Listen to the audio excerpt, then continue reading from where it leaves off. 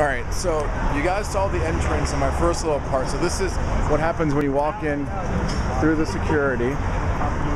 And this is the lobby. Oh, Tony, man, you're gonna be like the star of my segment here. What are you drinking? Coconut juice? Coconut water. Coconut water. You gotta get these real quick because the vultures are coming. They'll be gone in 30 minutes. Trust me. I want to make sure my guys are dehydrated, not dehydrated, hydrated. So th- this is um, like different sponsors, and I'll walk you guys around. So this is like alcohol. They give you free unlimited alcohol and beer. Ducati is here doing some stuff. There's a DJ that plays music, so people probably dance and hang out. Now, I have to say, uh, the band is here.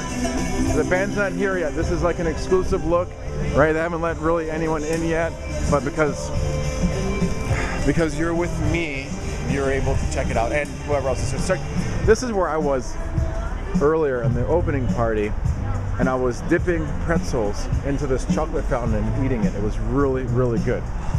So here's another bar. Make sure that everyone can get their drink. Here's some like couches where you can sit and enjoy a seat. There's another gifting area, and these are phones, I guess, that plug into the cell phone.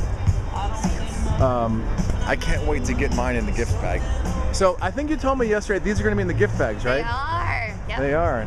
You, can I just have one now, or do I have to wait to get my seat? Um, I wish I could, but our shipment didn't come in. We were gonna have to give out a Oh, bunch oh, you have really beautiful blue eyes. Let Oh, me see. thank you. Hello, hello, hello. Um, cool. Hello? Hello?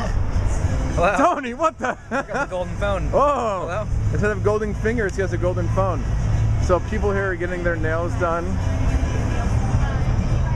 Oh, what a nice ring you have. Well, thanks. I'm not gonna looking at the nails. and then she's playing with her iPad over there, talking about the company, I'm sure. Cool.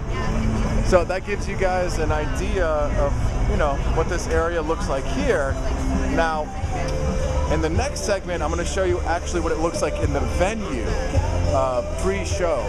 So I'm going to close out on the DJ.